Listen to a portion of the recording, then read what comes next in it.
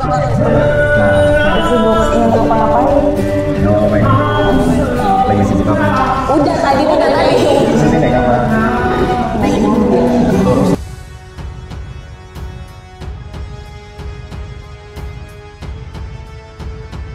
para netizen, balik lagi di Sang Pramal melihat dengan mata batin. Hari ini saya mau menerawang Heiko van der Vecken dan Rangga Azov. Nah, bagaimana kriteria ya sosok pria idaman Heiko Vecken? Ya, apakah sosok Rangga Azov masuk dalam kriteria ya husband materialnya Heiko Vecken? Kalian penasaran? Mari kita lihat. I can see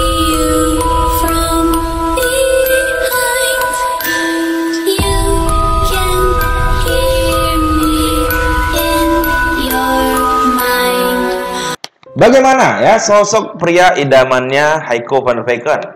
Apakah sosok Rangga Azov termasuk ya dalam ya kriteria husband materialnya?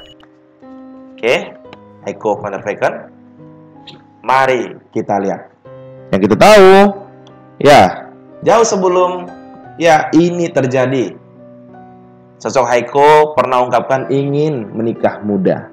Namun kini tiba-tiba ya kemarin di wawancara ya sosok Heiko ungkapkan ingin fokus berkarya. Nah, pertanda apakah ini? Apa yang terjadi sebenarnya dalam kisah Heiko van der Vecken dan Rangga Azov ini? Dan apakah sosok Rangga Azov masih ya termasuk dalam ya sosok pria idaman atau sosok ya kriteria husband materialnya Heiko? Mari kita lihat. Kartu yang pertama, kartu yang keluar adalah Three of Pentacle. Kita lihat di sini ada seorang yang memahat dinding, ada orang yang melihatnya. Nah, saya lihat dengan mata batin saya kini, Heiko van der maupun Rangga Azov lagi membuktikan ya bahwa mereka masih bisa ya bersinar meski saat ini terpisah. Kita buka lagi. Kartu kedua, kartu yang keluar adalah Knight of Cups. Kita lihat di sini ada kesatria memegang satu buah cups naik kuda putih. Di depannya ada aliran sungai. Nah, saya lihat di sini. Oke, sosok Rangga Azov masih tetap ya menjaga. Oke, rasanya untuk Heiko Vecken. Meskipun tak dipungkiri, memang saat ini seperti ada ya dinding. Oke, yang membuat Heiko Vecken dan Rangga Azov belum ya terlihat satu frame saat ini. Kita buka lagi. Kartu ketiga, kartu yang keluar adalah Pack of Pentacle. Kita lihat di sini ada pria. Ya, memegang satu buah koin. Di belakangnya ada bag warna kuning. Oke, sosok pria idaman Haiko yang merupakan sosok yang pekerja keras. Oke, sosok yang punya ide-ide cemerlang. Oke, bikin usaha ini, usaha ini, dan usaha ini. Nah, kita buka lagi tiga kartu yang berikutnya. Nah, bagaimana lagi kriteria sosok ya yang nanti bakal membersamai Heiko van der. Oke, menemaninya ya dalam ya perjalanan hidup ini. Mari kita lihat. Kartu keempat, kartu yang keluar adalah demun. Kita lihat di sini ada bulan yang tertunduk lagi-lagi muncul ya benteng di sini. Ada hewan yang menjaga benteng. Nah, saya lihat dengan mata batin saya. Oke, berjauhan dengan Rangga Azov merupakan ya sesuatu hal yang berat bagi sosok Heiko van der Vecken. Begitu juga dengan ya sosok Rangga Azov. Kita buka lagi.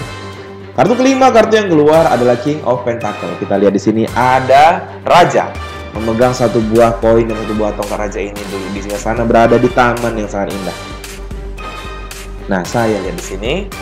Oke, sosok ya pria idaman Heiko tentunya ya sosok pria yang mapan. Karena kita tahu sosok Heiko ini sosok ya gadis yang pekerja keras. Ya. Hingga menginjak usia 20-an, nama Heiko ya masih terbang tinggi. Ini berkat kerja kerasnya. Nah, kita buka lagi. Kartu keenam kartu yang keluar adalah The Emperor. Kita lihat di sini ada raja memegang satu buah tongkat dan ada bom waktu di tangannya. Raja ini duduk di sana. Ya, sosok ya pria Oke, yang ya didambakan Haiko adalah sosok pria yang tegas, sosok pria yang oke bisa ya bisa dipercaya, tegas, bukan hanya itu bisa mengambil satu keputusan yang besar dalam hidup. Nah, kita buka lagi tiga kartu yang berikutnya. Oke, mari kita lihat lebih jauh lagi apakah seseorang ke Azov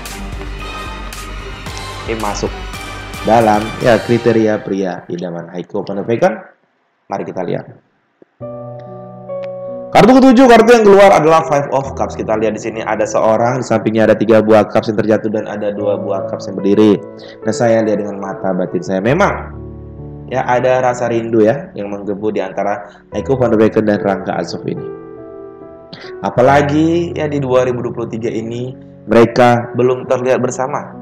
Padahal ini sudah ya beberapa bulan ya lewat ya tahun ini. Kita buka lagi.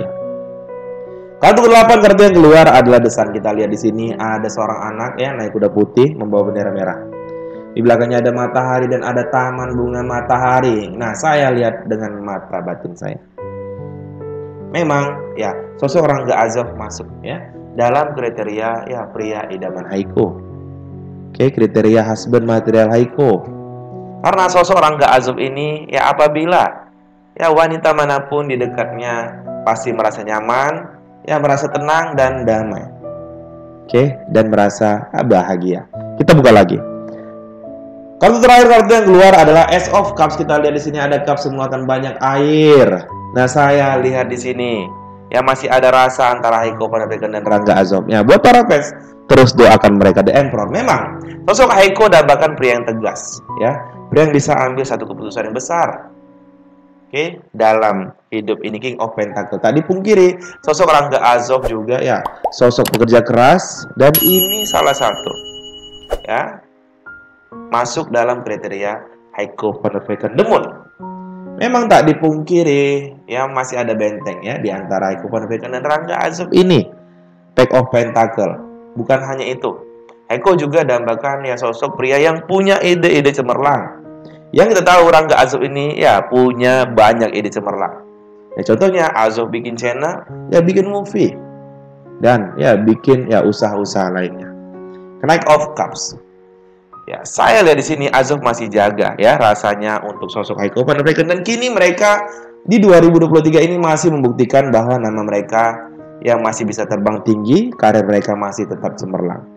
Nah, kawan-kawan boleh komen di kolom komentar bagaimana menurut kalian. Doakan mereka sampai ketemu lagi di Sang Pramal melihat dengan mata batin.